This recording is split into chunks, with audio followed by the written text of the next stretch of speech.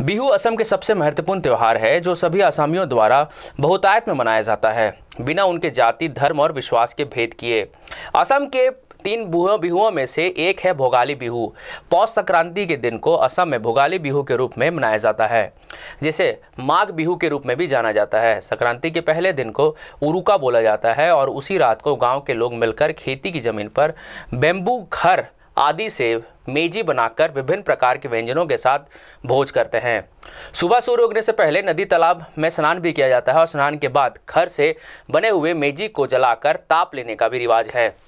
उसके बाद नाना तरह के पेठा, दही, चिवड़ा खाकर दिन बिताया जाता है।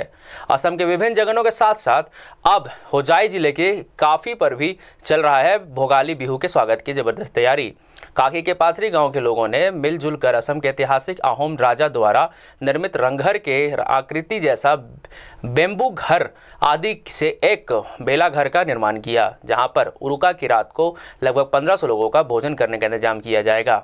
साथ ही उसी रात विभिन्न सांस्कृतिक कार्यक्रमों का भी आयोजन किया जाएगा।